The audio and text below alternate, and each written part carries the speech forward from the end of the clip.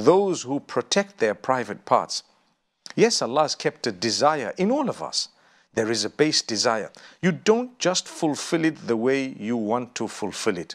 Bottom line, as a believer, if you believe in Allah or you, you, you believe in revelation, you believe in the faith, Allah Almighty has instructed us to say, we know we created a desire within you.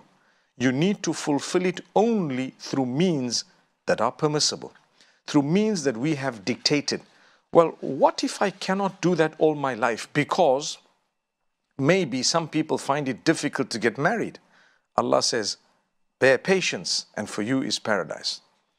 The patience of this world will always be something you will need to endure be it in marriage or be it in any other aspect of your life.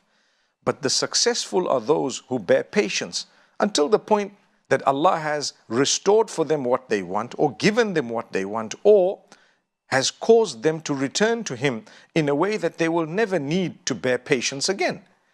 Have you noticed or do you know there is no sabr in paradise? No one will ever tell you again, bear patience. Whereas on earth, we hear it every so often. So, restraint is required to protect your private parts and to fulfill the desire that you may have, the base desire, in a permissible way when it is facilitated. Uh, up to that point, you should abstain, you should hold back. That is what Allah says. So, if there is no permissible way to fulfill your base desire, a true believer will bear patience even if it means up to the point of death. That is considered true success. We cannot just do as we wish, as we want, and think to ourselves, I'm okay to do this when we call ourselves believers.